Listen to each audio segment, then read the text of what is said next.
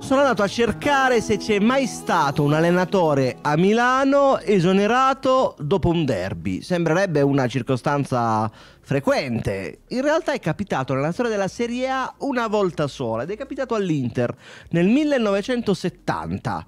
Il derby si giocava anche allora alla quinta giornata e la partita prima l'Inter aveva perso 3-1 in casa, non contro il Liverpool, ma contro il Cagliari di Gigi Riva, che era campione d'Italia in carica, quindi siamo lì.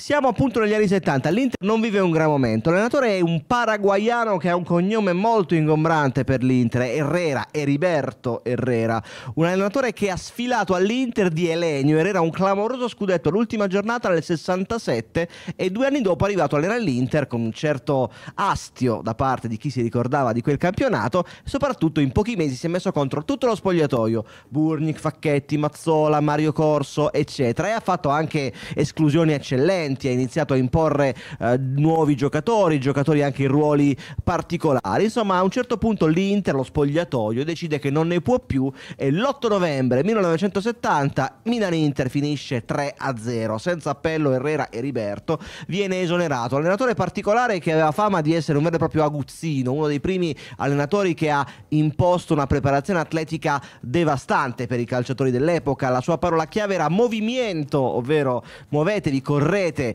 dovete assolutamente essere preparatissimi atleticamente. Il primo, per esempio, è imporre la frutta come eh, cibo per recuperare energie dopo una partita. Il primo a eh, fare preparazioni massacranti. Aveva anche uno stile di vita molto monastico. Viveva da solo in un appartamento a Milano in via um, Giovanni da Procida, che per chi non è di Milano è in zona eh, Corso Sempione, non lontano da San Siro. E insomma andò via l'8 novembre 70. E... Però voglio lasciarmi anche con una nota di speranza per i tifosi del Milan, perché il campionato 70-71 è stato l'unico campionato della storia della Serie A in cui a vincere lo scudetto fu proprio la squadra, una squadra che cambiò allenatore, perché al suo posto arrivò Giovanni Invernizzi, 30 tecnico della primavera e l'Inter a sorpresa rimontando proprio il Milan vinse uno scudetto memorabile. L'anno dopo fece anche finale di Coppa Campioni. Staremo a vedere.